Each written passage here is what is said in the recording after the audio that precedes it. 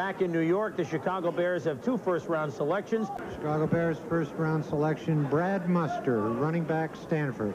Brad Muster, a guy that the Bears never thought they would see this late. They have no real big blocking fullback. Muster is a back in a totally different area. He can do a lot of things that most big men can't dream of doing. If there's something medically wrong, then they've got a problem.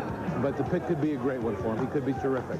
And what he offers them, he offers them another guy out of the backfield. You're talking about a guy, Brad Muster, who in 1985 caught 78 passes in one year. This guy is a fullback. And Joe, I have heard his name mentioned with, like a teammate of yours, John Riggins was. I don't want to compare him to Riggo yet because that's in a class of uh, by himself. But one personnel guy told me that no running back coming out of college in the last 20 years can run routes as well as Muster. A big guy that has shifty little moves and catches the ball. Tough thing when you got big guys that can move and have the ability to get around. It really, really puts a lot of pressure on a defense. It could bring another element of the Bears' offense into play, and that's a, a fullback that can catch the football. Chicago, LSU's Wendell Davis, a wide receiver. Uh, talking about injuries, he had one as a sophomore back in 1985.